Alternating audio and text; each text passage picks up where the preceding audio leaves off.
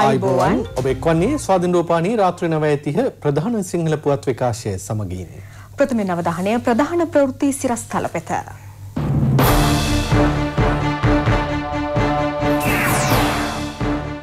පිරිවෙන් හා දහම් අධ්‍යාපනය ඉහළනං වන ජනපතිගේ වැඩපිළිවෙල මහත් සංගරුවන හමුවට.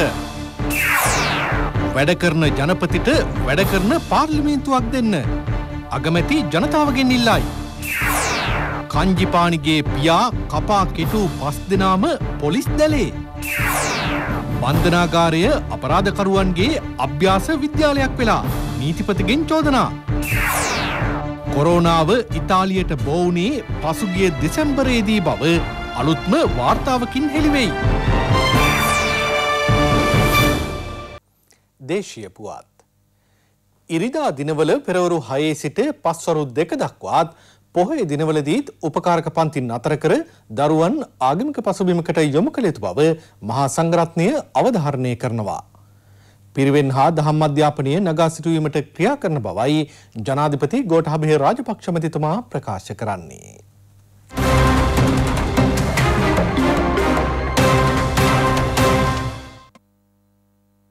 බෞද්ධ උපදේශක සභාවේ තුන්වන හමුව ජනාධිපති ගොටාබේ රාජපක්ෂ මැතිතුමාගේ ප්‍රධානත්වයෙන් පැවැත්වුණා. පිරිවෙන් හා දහම් පාසල් අධ්‍යාපනය නගා සිටුවීම සඳහා රාජ්‍ය අනුග්‍රහකත්වය ලබා දෙන බව ජනාධිපතිතුමා මෙහිදී ප්‍රකාශ කළා. ඉංග්‍රීසි භාෂාව සහ තොරතුරු තාක්ෂණ දැනුම පිරිවෙන් විෂය මාලාව තුළ හැදෑරීමේ අවස්ථාව සැලසිය යුතු බවද ජනාධිපතිතුමා කියා සිටියා. උපදේශක සභාවට වැඩම කළ මහා සංඝරත්නය මෙහිදී යෝජනා රැසක් ඉදිරිපත් කළා. සුරක්ෂිත රටක් විනයගරුක ගුණගරුක හා නීතිගරුක සමාජයක් ගොඩනැගීම සඳහා වන ජනාධිපති කාර්ය සාධක බලකායක් නැගෙනහිර පළාත තුළ පුරාවිද්‍යාත්මක උරුම කළමනාකරණය සඳහා වන ජනාධිපති කාර්ය සාධක බලකායක් ස්ථාපනය කිරීම පිළිබඳව අතිගරු ජනාධිපතිතුමන්ට කෘතවේදීව මේ අවස්ථාවේදී පුණ්‍යානුමෝදනය කරන පාසල් අධ්‍යාපනයේ ජාතික අධ්‍යාපන ප්‍රතිපත්තියක් තාම නැහැ.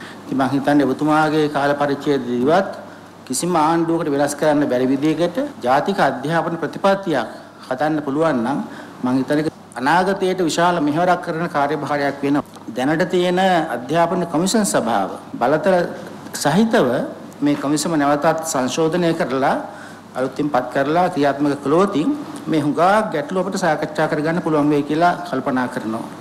පිරිවෙන් අධ්‍යාපනය සකස් වූ තරමටයි මේ රටටත් ලෝකයටත් වටින භික්ෂුන් වහන්සේලා බිහිවන්නේ ඇතිවෙන්. පුළුවන් තරම් කුලදරුවන් පැවිදි කිරීමට මත් වෙනොත් යම්කිසි පුහුණුවක් ලබා දෙන විදිහට අවස්ථාව සැලසෙනවා නම් මම හිතන වඩාත් චිතයි කියලා විශේෂයෙන් මම මේ යෝජනා ටික දැක්කම හරි සතුටක් ඇති වුණා අපේ නිකායත්‍රයීම සහ සියලුම ප්‍රධාන මහා සංඝ රුවන මොනතරම් බලාපොරොත්තුවක් තියනවාද මේ පිරිය ඇයි මගේ ජනාධිපතිතුමනි මේ පිරිවෙන් ශේත්‍රයේ තමයි අපේ ප්‍රතිපත්තිම කොටගෙන තියෙනවා පර්යාප්ති ප්‍රතිපත්ති ප්‍රතිවේද කියන ත්‍රිවිධ ශාසනය ආරක්ෂා කර ගැනීම සහ අභිවෘද්ධිදායක කර ගැනීම මේ අරමුණයි. එතකොට මේ සඳහා මගේ ජනාධිපතිතුමනි එකඳු විදේශමය වශයෙන් පුහුණුවක් මගේ පුංචි හාමුදුරුවන්ට සහ අද වැඩ කරන මගේ හාමුදුරුවන්ට නෑ. මා දැනගන්න ලැබුණා. මා හිතනවා ඔබතුමාටත් මේ මෑතක ලියමනක් එන්ට ඇති පාලි විෂය අනිවාර්ය කිරීම බැහැර කරන්න කතා කරලා තිබෙනවා. ස්වාමීන් වහන්සේලාට වඳින්න පුදන්ට අපි බෝධින් වහන්සේ නමක් හිටෙව්වා. ඒක කපල ඉවත් කරලා තිබෙනවා. විශ්වවිද්‍යාලයේ නම්නීකරණ වැඩසටහන් කියලා අපි ඔරියන්ටේෂන් ප්‍රෝග්‍රෑම්ස් හදලා තිබුණා අලුතෙන් එන ශිෂ්‍යයන්ට පුරුදු කරන්න භාවනා, පින්ඩපාත චාරිකා, යෝග අභ්‍යාස ආදී වශයෙන් මේවා වැඩක් නැහැ කියලා ඒ වැඩසටහන් ඉවත් කරලා තිබෙනවා. දහම් පාසල වල ගත්තාම 9 වෙනි ශ්‍රේණියේ සිට ඉහළ පන්ති ගත්තොත් එන්න එන්නම ළමයින්ගේ අඩුවීමක් දකින්නට ලැබෙනවා. දහම් පාසල් අත්තර දාලා ටියුෂන් පන්ති වලට යන්නට ළමයි පෙළඹිලා තිබෙනවා. ඉරිදා පන්ති නවත්වීම සුදුසු නෑ කියලා තර්ක කළා තිබුණා. කැබිනට් එකට යනකම් ඉරිදා උපකාරක පන්ති තහනම් කිරීම කළ යුතුය කියන නිගමනයේ ගිහිල්ලා එතනින් කපා ඇරුණ අවුරුදු ගණනක් තිස්සේ අතිගරු ජනාධිපතිතුමනි මේක සම්පූර්ණ මුලාවක් බොරුවක්. ඒ නිසා මම යෝජනා කරනවා ලංකාවේ සියලුම උපකාර පන්ති සෑම ඉරිදා දිනක උදේ 6 සිට සවස 2 දක්වාත් සම්පූර්ණයෙන් පොහොය දවස්වලත් නතර කළ යුතුය කියලා මේ රටේ සම්භාවනීය අධ්‍යාපන ශාස්ත්‍රය හැටියට සලකන පිරිවෙන් අධ්‍යාපනයේ ප්‍රගමනයේ උදෙසා අපි යෝජනා කරනවා විෂය නිර්දේශ සංශෝධනයක අවශ්‍යතාවය. එහිලා විශේෂයෙන්ම අපේ පැරණි අධ්‍යාපන සම්ප්‍රදායට අනුගතව විශේෂයෙන් සිංහල පාලි සංස්කෘත කියන භාෂාවන් අපේ ඉපැරණි අධ්‍යාපන ක්‍රමයට අනුව යළිත් ඉගැන්වීමේ ක්‍රමවේදයක අවශ්‍යතාවය අපි විශේෂයෙන් අවධාරණය කරනවා. පොදුවේ ජාතික අධ්‍යාපන ප්‍රතිපත්තියක අවශ්‍යතාවය රටේ තියෙනවා. ඔබතුමා හොඳ වැඩක් පහුගිය කාලේ කළා අපේ හාමුදුරුවෝ දිසාපති කාර්යාලවල වෙනත් වෙනත් කාර්යාලවල සමායෝජක හාමුදුරන් වහන්සේලා හැටියට සේවය කරා. උන්වහන්සේලාට නියමයක් කළා අධ්‍යාපනගාමී පිරිසක් හැටියට භික්ෂුන් වහන්සේ කියන්නේ කොහොමත් අධ්‍යාපනගාමී පිරිසක් උන්වහන්සේලා දරුවන්ට අධ්‍යාපනය ලබා දෙන මේ ධර්මාචාර්යවරුන් වහන්සේලා හැටියට පත් කරන්නට හරිම වටිනා ජනාධිපතිතුමනි දහම් අධ්‍යාපනය වෙනුවෙන් රජය ක්‍රියා කරන බවයි ජනාධිපතිතුමා මෙහිදී ප්‍රකාශ කළේ. අධ්‍යාපනය මගේ ප්‍රතිපත්ති ප්‍රකාශනයේ මූලික තැනක් ගන්න විෂයක්. හේතුව අපේ තරුණ පරපුර අතරමං නොවි ජීවිතය ඉදිරියට ගෙනියන්නට පුළුවන් අධ්‍යාපන ක්‍රමයක් ලබා දීම සඳහා විධිමත් ක්‍රමවේදයක් සකස් කිරීම තමත්ම වැදගත්. මේ පිළිබඳව මම ජනාධිපතිවරයා වෙන්න කලිනුත් වියත් මග ඔස්සේ ද්වත් සභාවක් හරහා විවිධ මතධර්ණ අය වෙලා සාකච්ඡා කරා. ජනාධිපතිවරයා වුණාට පසුව මම ජනාධිපති කාර්ය සාධක බලකායන් දෙකක් අපි පත් කරලා තිබෙනවා මේ වෙනුවෙන් ජාතික ප්‍රතිපත්තියක් සකස් කිරීම සඳහා. මේ සකස් කරන ජාතික ප්‍රතිපත්තිය ඇමතිවරු මාරු වෙනකොටත් ආණ්ඩු මාරු වෙනකොටත් වෙනස් කරන්නේ නැතුව සෑම දෙයක් පිළිගත්ත ප්‍රතිපත්තියක් හැටියට පවතින්නට මේක සාකච්ඡාවට භාජනය කරන්නට කියලා මම ඒකලකින් ඉල්ලා සිටියා. පිරිවෙන් අධ්‍යාපනය වෙනුවෙන් ඔබ වහන්සේලා දක්වපු අඩුපාඩු නිලධාරීන් සමග සාකච්ඡා කරලා විසඳුම ලබා දෙන්නට මම ක්‍රියා කරනවා. වැඩ කරන නායකයාට වැඩ කරන පාර්ලිමේන්තුවක් පත්කර දෙන්නේයි අග්‍රාමාත්‍ය මහින්ද රාජපක්ෂ මහතා සියලු දෙනාගෙන් ඉල්ලා සිටිනවා. අපි දන්නවා ජනාධිපතිවරයා උදේ පටන් ගත්තම රෑ 11 12 වෙනකම් ඔහු මේ රටේ සංවර්ධනය පිළිබඳව කටයුතු කරනවා. මට කියලා තියෙන්නේ මහින්ද අයියා මේ දේශපාලනය කරන්න මම රට හදන්නම් කියලා. වැඩ කරන්න. මම හිතුවා ඒක ලීසි කියලා මට. ඒකින්ද අපි අද ශක්තිමත් විදියට තමන්ට ඉන්නවා. හැබැයි තමුන්නාන්සල දන්නවා රටේ ප්‍රශ්න හඳුනගෙන රටේ ප්‍රශ්න වැඩ කරන ජනාධිපතිවරයෙක් එක්ක වැඩ කරන්න පුළුවන් පාර්ලිමේන්තුවක් ශක්තිමත් පාර්ලිමේන්තුවක් ලබා දීම ඔබ මේ යුතුයකමක් වශයෙන් නිසා ඒ කටයුතු ඉටු කිරීම තොරව කටයුතු කරයි කියන විශ්වාසයක් තියෙනවා. අද ගෝඨාභය රාජපක්ෂ ජනාධිපතිතුමා මේ රට මේ වන ආකාරයේ අපි මැතිවෙන ඉස්සර මේ ගෙදර මං ඇවිල්ලා ගෙව්වා ගෝඨාභය රාජපක්ෂ මහත්තයා ජනපති වෙනකොට නියත අගමැතිය දා රැයට මහින්ද රාජපක්ෂ අපේ ජනාධිපතිතුමා කියලා. මේක තමයි සුසංයෝගය. මේ දෙවලට තමයි රට ගොඩ ගන්න පුළුවන් වෙන්නේ මේ දෙවලට තමයි ප්‍රශ්නයක් ඇති නොවි. මේ රට පාලනය කරන්න පුළුවන් වෙන්නේ කියලා. අගෝස්තු මාසේ 5 වෙනිදාට රොද බැඳලා පොහොට්ටු ඉදිරියේ කතරේ ගහලා මේ රටේ බිහි වෙන ශක්තිමත්ම ආණ්ඩුව ගෝඨාභය රාජපක්ෂ මැතිතුමාටත් මහින්ද රාජපක්ෂ මැතිතුමාට ලබා දෙන්න බන්ධනාගාරය අපරාධකරුවන්ගේ ක්‍රීඩාපිටියක් වී ඇති බව නීතිපති දප්පුලද ලිවේරා මහතා පවසනවා. මද්‍රව්‍ය සහ පාතාල ක්‍රියාකාරකම් රැසක් මෙහෙවන්නේ බන්ධනාගාර තුළ බවත් ඊට බන්ධනාගාර නිල්ධාරීන්ගේ සහායද හිමිවන බවත් නීතිපතිවරයා අවධාරණය කරනවා. අද පෙරවරුවේ කොළඹ රිමාන්ඩ් බන්ධනාගාරයේ නීතිපතිවරයාගේ නිරීක්ෂණයට ලක් වුණා. රාජකාරී කටයුත්තක් සඳහා බන්ධනාගාරයක සංචාරයකට එක් වූ පළමු නීතිපතිවරයා වශයෙන් තමා ආඩම්බර වන බවද නීතිපති දප්පුලද ලිවේරා මහතා කියා සිටියා. අනතුරුව බන්ධනාගාර නිලධාරීන් සමග විශේෂ සාකච්ඡාවකට නීතිපතිවරයා නිරත වුණා. බන්ධනාගාර කුමසාරිස් ජෙනරාල් තුෂාර උපුල්දෙනිය මහතා ඇතුළු නිලධාරීන් පිරිසක් ඊට එක්ව සිටියා. බන්ධනාගාරවල නීතිය අධිපත් මිද වැටලා එතකොට මේ බන්ධනාගාර දැන් මේ අද අපරාධ කරුවන්ගේ ක්‍රීඩා පිටි සෙල්ලම් පිටි අපරාධ සිදු කිරීම සඳහා අභ්‍යාස විද්‍යාල බවට පත් වෙලා තියෙන බන්ධනාගාරය. ඒ මොකද මෙතන විනයක් නැහැ. රැඳවියන්ගේ විනයක් නැහැ. නිර්ධාරින්ගේ විනයක් නැහැ. අවංක නිර්ධාරින් ඉන්නවා ඒක මම දන්නවා. කාර්යක්ෂම නිර්ධාරින් ඉන්නවා. ඒක මම දන්නවා. නමුත් බහුතරය හදන්න ඕනේ මෙතන. අල්ලස දූෂණයට නිර්ධාරින් ඇබ්බැහිලා ඉන්නේ මේ. රැඳවියන් අපරාධ සිදු කරන්න ඇබ්බැහි වෙලා. මත්ද්‍රව්‍ය ජාවාරාමට ඇබ්බැහි වෙලා. තහනම් බාණ්ඩ ඇතුල් කරන්න ඇබ්බැහි වෙලා. ප්‍රබල අපරාධ සංවිධානය වෙන්න මේක ඇතුලේ. එතකොට පාතාල කල්ලි මේක ඇතුලේ ඉන්නවා. එළිය කොටසක් ඉන්නවා ඇතුලේ කොටසක් ඉන්නවා. ඒ දෙගොල්ල සම්බන්ධ වෙනවා. නිලධාරීන් රැඳවියන් ආරක්ෂා කරන රැඳවියන් නිලධාරීන් ආරක්ෂා කරනවා. ඕක සංස්කෘතිය මේකේ. මෙතන අන්තර් සහජීවනයක් තියෙනවා. මේ කඩන්න ඕනේ. බන්ධනාගාර විශේෂ තලයක අපරාධකරුවන් බිහි කිරීමේ මධ්‍යස්ථානයක් බවට පත් වෙලා මෙතන සෙල්ලම් පිටියක් වෙලා පුනරුත්ථාපනයක් සිදු වෙනවා නම් යහපත් පුරවැසියෙක් නැවත සමාජගත වෙන්න ඕනේ. ඒක වෙනවද මෙතන? ඒකයි මේ රටේ අපරාධ රැල්ල දිනෙන් දින වැඩි වෙන්නේ. එතකොට මහජන ආරක්ෂාවට තර්ජනයක්. ජාතික ආරක්ෂාවට තර්ජනයක්. අපිට මේ රටේ ජනතාවට වගකීමක් තියෙනවා. අපි ඉන්න කාලය තුල. ඒක හරියට ඉෂ්ට කරන්න. විශ්‍රාම යනකොට ඔළුව කෙලින් තියාගෙන යන්න. හරි සේවයක් කරලා. මේවා හැදෙන්නේ නැත්තම් රට හදන්න බෑ. මේ රටේ මිනිස්සුන්ට ආදරය කරන්න තමුන් වහන්සේලා. සංවර්ධනයක් වෙන්නේ නැහැ මේ රටේ නීතිය සාමය නැත්තම්. මම මෙතනට ආවේ නීතිය උල්ලංඝනය කරන අයට පණිවිඩයක් දෙන්න. නිර්ධාරී නොව වේවා රැඳවියන් නොව වේවා. මම තදින් නීතිය ක්‍රියාත්මක කරනවා. තදින්. අනික තරාතිරම් නොබලා. මොකද මෙතන ලොකුම ප්‍රශ්නය මද්ද්‍රව්‍ය මේකට එන එක. දුරකථන සෙල් දුරකථන භාවිතා කරලා තමයි මේ අපරාධකරුවන් ක්‍රියාත්මක වෙන්නේ. එතකොට නිලධාරීන් පණිවිඩ කරවන් වෙලා තියෙනවා මෙතන. ඒක නවත්තන්න ඕන. මේක හරියාකාරව ඉක්මනට කරන්න ඕන. ඉදිරියට මම බලාපොරොත්තු වෙන්නේ අපි මේ බන්ධනාගාර දෙපාර්තමේන්තුව විදිහට මේ රටේ සුරක්ෂිතභාවය ආරක්ෂා කරගනිමින් ඒ වගේම අපිට පැවරලා තියෙන රාජකාරිය වන සිරකරුවන් රඳවා තබා ගැනීම, ඒ රඳවා තබා ගන්න සිරකරුවන්? සමාජයට සිදුවන බලපෑම අවම කිරීමට. ඊළඟට ඒගොල්ලන්ට සැලකීම. අපි පුළුවන් උපරිමයෙන් අපි සැලකිය යුතු වෙනවා. ඊළඟට ඒගොල්ලෝ නැවත යහපත් පුරවැසියන් විදියට සමාජගත කිරීම. රක්ෂිත බන්ධනාගාර ගත කර සිටින ප්‍රබල මද්‍රව්‍ය ජාවාරම්කරුවෙක් වූ කංජිපානි ඉම්රාන්ගේ පියාට තියුණු ආයුධවලින් පහරදී බරපතල තුවාල සිදු කළ සිද්ධියට අදාළ සැකකරුවන් පස් දෙනෙකු මේ වන විට පොලිස් අත්අඩංගුවට ගෙන තිබෙනවා. මාලිකාවත්ත සද්ධර්ම මාවත අසලදී ත්‍රිරෝධ රථයකින් පැමිණි පුද්ගලයන් තුන්දෙනෙකු කංචපාන ඉම්රාන්ගේ පියාට තියුණු ආයුධවලින් පහරදී බරපතල තුවාල සිදු කළේ පසුගිය 17 වනදා සවස් කාලයේ.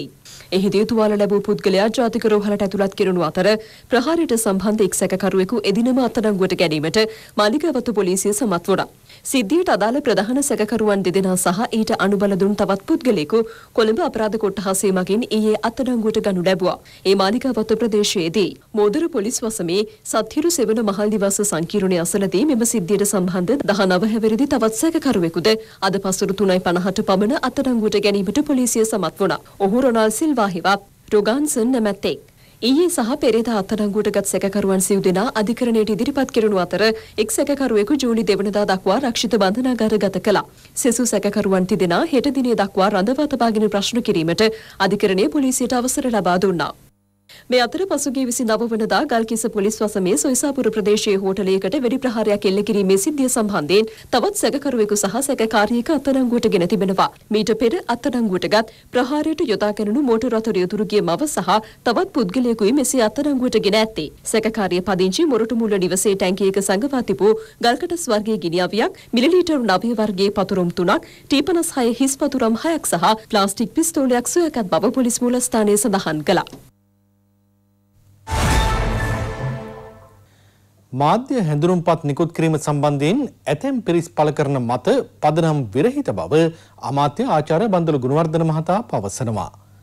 එම කටයුතු සිදු කෙරෙන්නේ රජයේ ප්‍රවෘත්ති දෙපාර්තමේන්තුවේ අධ්‍යක්ෂ ජනරාල්වරයාගේ මෙහෙයවීම මත පමණක් බවයි අමාත්‍යවරයා ප්‍රවෘත්ති දෙපාර්තමේන්තුවේ පැවති මාධ්‍ය හමුවකට එක්වමින් අවධාරණය කළේ. රජයේ ප්‍රවෘත්ති අධ්‍යක්ෂ ජනරාල්වරයාද මෙහිදී පැහැදිලි කිරීමක් සිදු කළා.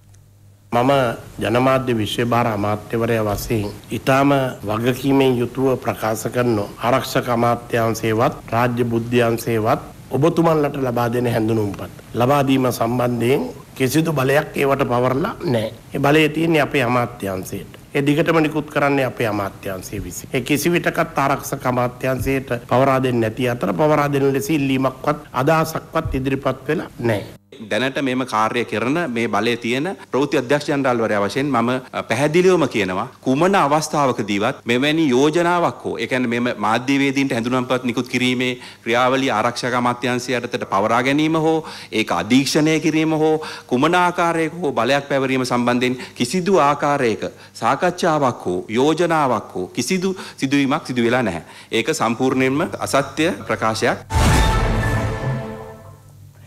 හිටපු පාර්ලිමේන්තු මන්ත්‍රී රිෂාඩ් බදියුදීන් මහතා පාස්කු ඉරිදා ප්‍රහාරය පිළිබඳ විමර්ශනය කරන ජනාධිපති කොමිසමේ පොලිස් ඒකකය වෙත පැමිණ ස්ව කැමැත්තෙන් සාක්ෂි ලබා දුන්නා. පසුගිය දෙසැම්බර් මාසයේදී තමන් ලිඛිතව කළ ඉල්ලීමකට අනුව මෙසේ සාක්ෂි ලබා දීම සිදු කළ බවයි බදියුදීන් මහතා ප්‍රකාශ කළේ.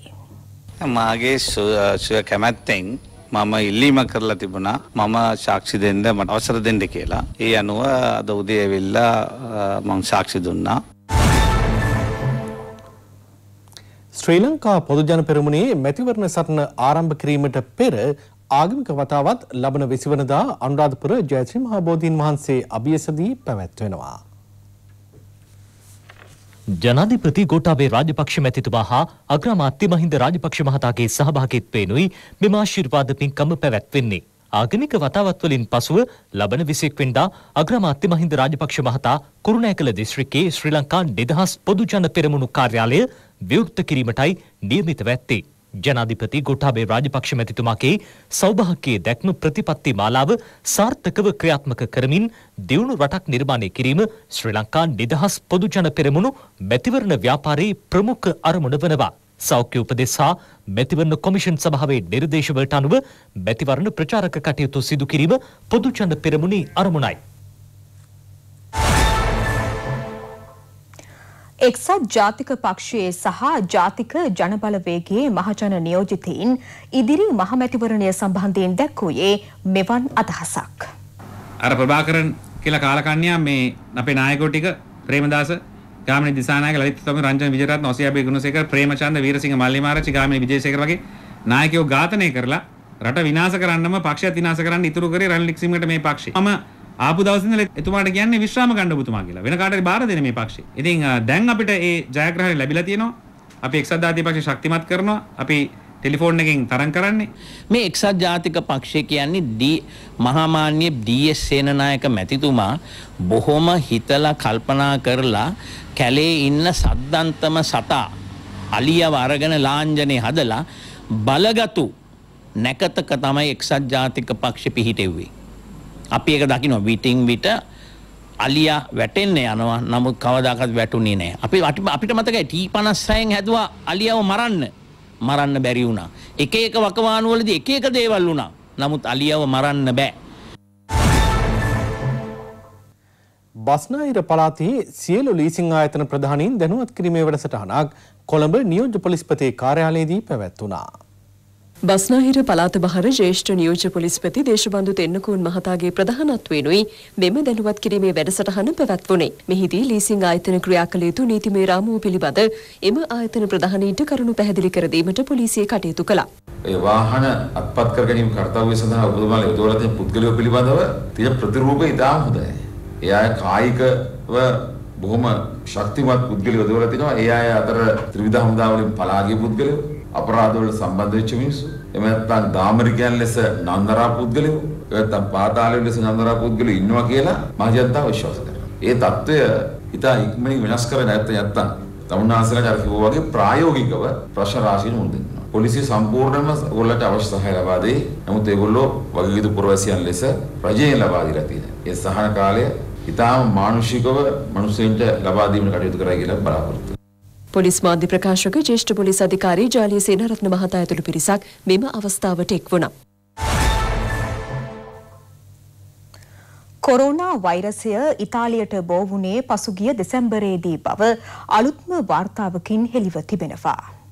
නව්‍ය කොරුණා වෛරසය ඉතාලිය තුළ ව්‍යාප්ති ආරම්භ වූයේ පසුගේ දෙසැම්බර් මාසයේදී බව අප ජලය යොදා ගනිමින් සිදු කළ පර්යේෂණයකින් අනාවරණය වී තිබෙනවා.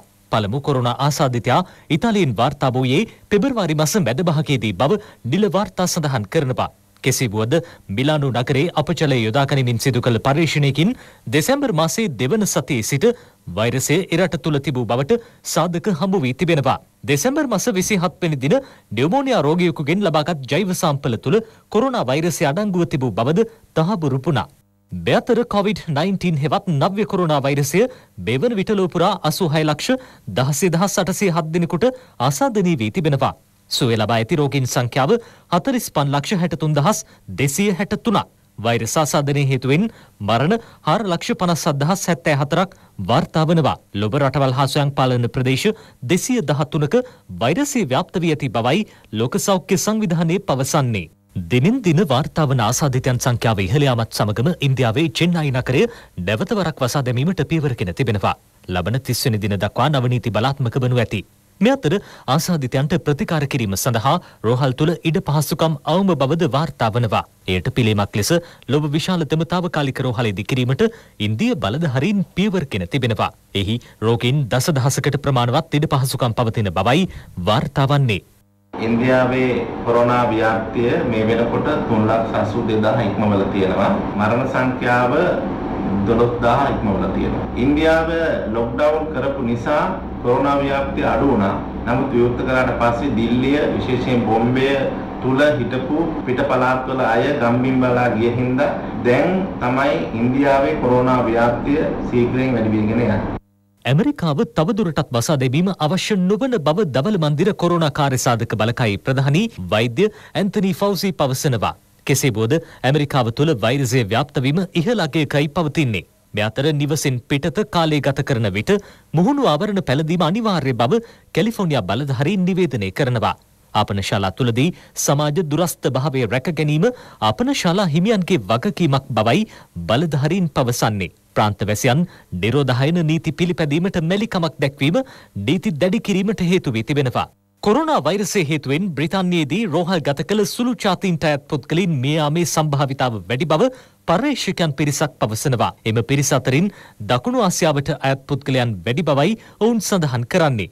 ඔවුන් මියාමට මූලිකම හේතුව බහුතරයක් දියවැඩියාවෙන් පිළීම බව අනාවරණය වී තිබෙනවා.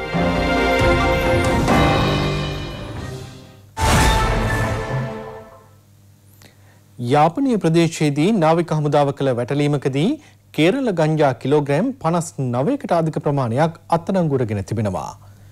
ඒවායි වටනාකම රුපියල් මිලියන හයකට අධික බවයි නාවික හමුදාව පවසන්නේ. ඊයේ දිනේදී අන්තර්ජාතික මුහුදු සීමාවේ සිට විදේශීය යාත්‍රාවකින් ශ්‍රී ලාංකික දීවර යාත්‍රාවකට යම්කිසි මත්ද්‍රව්‍ය තොගයක් හුමාරු වූ බවට තොරතුරු ලැබී තිබුණා. එම නායක හමුදාව විසින් විශේෂ මුතුරු නායක විධානය විසින් ජාපනයේ කකරතිව් දිවයිනේ විශේෂ වැටලීමක් සිදු කළා. එහිදී කේරළ ගංජා නැමැති මත්ද්‍රව්‍ය ප්‍රභේදය කිලෝග්‍රෑම් 58කට අධික ප්‍රමාණයකුත් සමග සැකකරුවන් දෙදෙනෙකු සහ ඔවුන්ට ඩිංගි යාත්‍රාව නායක හමුදා බාරට ගැනීමට නායක හමුදා කටයුතු කළා. අත්අඩංගුවටගත් කේරළ ගංජා තොගේ වටිනාකම රුපියල් මිලියන 6කට අධිකයි. ඒ වගේම මේ සැකකරුවන් සහ ඔවුන්ට අයත් ඩිංගි යාත්‍රාවත් ඒ වගේම මෙම මද්‍රව්‍ය තොගයත් ඉදිරි විමර්ශන කටයුතු සඳහා යාපනය මද්‍රව්‍ය නාශක කාර්යාංශයට බාර දීමට නායක හමුදා කටයුතු කළා. ඒ වගේම මෙම සැකකරුවන් වයස අවුරුදු 40 සහ 30 යන වයස්වල පසුවන මන්නාරම සිරිතෝපුර නැමැති ප්‍රදේශයේ පදිංචිකරුවන් බවට දැනට හඳුනාගෙන තිබෙනවා. මෙම දූපත විශේෂයෙන්ම මේ දීවරයන් විවේක සුවය ගත කිරීම සඳහා භාවිතා කරන ස්ථානයක් ඔවුන්ගේ දීවර කටයුතු අතරතුර මෙම ප්‍රදේශයේ මෙවැනි තවත් ක්‍රියාකාරකම් පිළිබඳව නායක හමුදාව විකටම මෙහෙයුම් කටයුතු සිදු කරගෙන යනවා. දඹුල්ල ඉහළ ඇරැව්වල ප්‍රදේශයේදී පිලිස්සෙමින් තිබූ මලසිරුරක කොටස් සොයාගෙන තිබෙනවා. අඩි පහක පමණ ගැඹුර ඇති වගාලි දෙක ටයර දමා පුළුස්සා ඇති මෙම අස්ති කොටස් සොයාගෙන ඇත්තේ ඇරැව්වල ග්‍රාම නිලධාරීවරිය පොලිසියට දපා දුන් දැනුම් දීමකට අනුවයි. ඒ ආසන්නයේ තිබී උදුළු තලයක් සහ හිස් මත්පැන් බෝතල් දෙකක්ද සොයාගෙන වුණා. මේ පිළිබඳ විමර්ශන ක්‍රියාත්මකයි. මේ අතර බදුල්ල හාලියල යන දුම්රිය ස්ථාන දෙක අතර මහවත්තේගම ප්‍රදේශයේදී දුම්රියට පැන ඇති තරුණ යෝලකින් තරුණිය ජීවිතක්ෂයට පත් වුණා. තරුණයා අද බරපතල තුවාල ලබා බදුල්ල මහරෝහලට ඇතුළත් කෙරුණා. වවුනතිව් පොලිස් මුරපොලේදී පොලිස් නිලධාරීන් දෙදෙනෙකු ඝාතනය කර පැහැරගත් ගිනි අවි දෙක පාස්කු ප්‍රහාරයට සම්බන්ධ සැකකරුවන්ගෙන් කළ ප්‍රශ්න කිරීම්වලදී නින්දවූර් සහ වනාත විල්ලුවෙන් ස්වාගත් බව පාස්කු ප්‍රහාරය පිළිබඳ විමර්ශනය කෙරෙන ජනාධිපති කොමිසමේදී අද හෙළි වුණා. දෙදහස් දහට වසරේ නොවැම්බර් විසි නවවැනි දින වවුනතිව් පොලිස් මුරපලේ නිලධාරින් දෙදෙනෙකු ඝාතනය කිරීමේ සිද්ධිය සම්බන්ධයෙන් සාක්ෂි විමසීම සඳහා එවකට වවුනතිව් වැඩබලන පොලිස් ස්ථානාධිපතිව සිටි පොලිස් පරීක්ෂක කේ මමරසේන මහතා කොමිසම හමුවට කැඳවා තිබුණා. පොලිස් මුරපලේ සේවය කළ නිලධාරින් දෙදෙනෙකු ඝාතනය කර ඇති බවට නොවැම්බර් 30 වෙනිදා තමන්ට තොරතුරු ලැබුණු බවයි සාක්ෂිකරු කොමිසම හමුවේ සඳහන් කළේ. එම ස්ථානයට පැමිණි තමන්ට එක් නිලධාරියෙකුගේ හිසට වෙඩි තබා දෙයත් ලණුවකින් බැඳ තිබූ අයුරුත් අනෙක් නිලධාරියා පිහියකින් කළ ඇනුම් තුවාල සහිතව වැටී සිටි අයුරුත් දක්නට ලැබුණු බව ඉතා සංවේදීව කොමිසම හමුවේ කියා සිටියා. මියගිය නිලධාරීන් දෙදෙනාගේ රාජකාරී ගිනියවේ අතුරු දන්ව තිබූ බවද පොලිස් පරීක්ෂක කේ.එම්. ආර්යසේන මහතා කොමිසම හමුවේ සාක්ෂි දෙමින් තවදුරටත් සඳහන් කළා. ඉන් අනතුරුව කොමිසම හමුවේ සාක්ෂි ලබා දුන්නේ අපරාධ පරීක්ෂණ දෙපාර්තමේන්තුවේ ප්‍රධාන පොලිස් පරීක්ෂක සමන් වීරසිංහ මහතායි. පසුගිය වසරේ අප්‍රේල් 26 වෙනි දින මඩකලපුව සියොන් දේවස්ථානයේ බෝම්බ පිපිරීම සම්බන්ධයෙන් විමර්ශනය කරමින් සිටි අවස්ථාවේ එවකට අපරාධ පරීක්ෂණ දෙපාර්තමේන්තුවේ අධ්‍යක්ෂ ජ්‍යෙෂ්ඨ පොලිස් අධිකාරී ශානි අබේසේකර හා නියෝජ්‍ය පොලිස්පති සුදත් නාගහමුල්ල යන මහත්වරුන්ගේ උපදෙස් පරිදි කාත්තන්කුඩි පොලිස් ස්ථානයට ගමන් කළ බව ඔහු සඳහන් කළා. එහිදී පොලිස් අත්අඩංගුවේ සිටි මොහමඩ් ශරීෆ් ආදම් ලෙබ්බේ තම බහරයට ගත් බවත් සැකකරු අපරාධ පරීක්ෂණ දෙපාර්තමේන්තුවේ මඩකලපුව ඒකකයට රැගෙන බිත් ප්‍රකාශ සටහන් කරගත් බවත් සාක්ෂිකරු කොමිසම හමුවේ කියා සිටියා. කොමිසම එහිදී විමසා සිටියේ සැකකරු ලබා දුන් තොරතුරු මත ඩින්දවුර් ප්‍රදේශයට යාමට සිදු වූ බවත් එහිදී අනපේක්ෂිත සිදුවීමකට මුහුණ දුන් බවත් ඔහු සඳහන් කළා. එහිදී කොමිසම විමසා සිටියේ එම අනපේක්ෂිත සිදුවීම කුමක්ද යන්නයි. අපට යාමට හැකි වුණේ සයින්ද මරදු අල් හිලාල් මුස්ලිම් විද්‍යාලය අසලට පමණයි. හමුදා ට්‍රක් රථයක් යොදා මාර්ගය අවහිර කර තිබුණා. එම ස්ථානය යුද පිටියක ස්වරූපයක් ගෙන තිබූ අතර වෙඩිහඬ කිහිපයක්ද විටින් විට ඇසුණා. එතනින් ඉදිරියට යන්න බෑ කියලා එතන හිටපු STF නිලධාරියෙකු කිව්වා යයි සාක්ෂිකරු තවදුරටත් කියා සිටියා. තමා විශේෂකාර්ය බලකා නිලධාරීන් සමග ගොස් මාර්ග බාධකයේ බාර ප්‍රධානීන් හමු වී තම කාරණාව පවසා විශේෂකාර්ය බලකා ආරක්ෂාව සහිතව ඩින්දවුර් බලා ගමන් කිරීමට අවසර හිමි වූ බවයි ප්‍රධාන පොලිස් පරීක්ෂක සමන් වීරසිංහ මහතා තවදුරටත් කියා සිටියේ. ඩින්දවුර් මුස්තකින් වීදියේ අංක 214 දරන නිවසට පැමිණි බව ඔහු එහිදී සඳහන් කළා. එහිදී කොමිසම සාක්ෂිකරුගෙන් විමසා සිටියේ නිවස තුලින් සොයාගත හැකි වූයේ මොනවාද යන්නයි. නිවසේ කුස්සියෙහි දුම් කවුළුවෙහි සඟවා තිබූ රිවෝල්වරයක් සොයාගත් බව සඳහන් කළ සාක්ෂිකරු ඊට උණ්ඩ හයක් දැමිය හැකි වුවද එහි තිබී හමු වූයේ උණ්ඩ හතරක් බව සඳහන් කළා. එහි අංකය AS 3887 ලෙස දැකගත හැකි වුවත් අනෙක් අංකය හඳුනාගත නොහැකි ලෙස සූරා තිබූ බවද ඔහු කොමිසම හමුවේ කියා සිටියා. අනතුරුව සැකකරුවෙන් ලැබුණු තොරතුරු මත කාත්තන්කුඩි ප්‍රදේශයේ සැකකරුවන් දෙදෙනෙකු අත්අඩංගුවට ගැනීම සඳහා පිටව ගිය බව සඳහන් කළ සාක්ෂිකරු එහිදී අබ්දුල් මනාල් මොහමදු හා හම්සා මොහිදීන් මොහමඩ් ඉම්රාන් යන දෙදෙනා අත්අඩංගුවට ගත් බවද සඳහන් කළා. ඔවුන්ගෙන් කළ ප්‍රශ්න කිරීම්වලදී පුපුරන ද්‍රව්‍ය සොයා කැණුණු පුත්තලම වනාතවිල්ලුව ලැට්ටෝවත්ත ඉඩමේ තවත් ගිනි අවිතොගයක් වලදමා ඇති බව අනාවරණය කරගත් බවද ඔහු තවදුරටත් කියා සිටියා. අනතුරුව 2019 අප්‍රේල් 27 වෙනි දින විශේෂ කාර්යබලකා හා අපරාධ පරීක්ෂණ දෙපාර්තමේන්තුවේ කණ්ඩායමක් එම ඉඩමේ කළ කැණීම්වලදී ඩිල් පැහැති බැරලයක් ගොඩගත් බවද කොමිසම හමුවේ සඳහන් කළා. එහි තිබී හමු වූයේ මොනවාදැයි කොමිසම සාක්ෂිකරුගෙන් විමසා සිටියා. සොයාගත් ගිනි අවි හා සෙසු උපකරණ පිළිබඳ විස්තර ඉදිරිපත් කළ සාක්ෂිකරු මෙම උපකරණ මඩකලපුව මහේස්ත්‍රාත් වෙත ඉදිරිපත් කිරීමෙන් අනතුරුව රජයේ රස පරීක්ෂකවරයා වෙත යොමු කළ බවත් එහි වාර්තාව මෙතෙක් නොලැබුණු බව කොමිසමට දැනුම් දුන්නා. එහිදී කොමිසම විමසා සිටියේ ඩින්දබුරු හා ලැට්ටෝ වත්තෙන් සොයාගත් ගිනි අවි අතර ඒ වන විටත් රහස් පොලිසිය සොයාගත් විමර්ශනයට අදාළ ගිනි අවි වවුනතිව් පොලිස් ස්ථානයේ වෙත නිකුත් කර තිබුණේ ද යන්නයි. වවුනතිව් පොලිස් ස්ථානයේදී ඝාතනය වූ නිලධාරීන් දෙදෙනාට අයත් AS 3887 හා 3826 යන ගිනි අවි දෙක එලෙස සොයාගත් බව ඔහු ප්‍රකාශ කළා. ස්වාධීන රූපවාහිනී රාත්‍රී පුවත් විකාශය අවසන්. ඔබට සුබ 啊！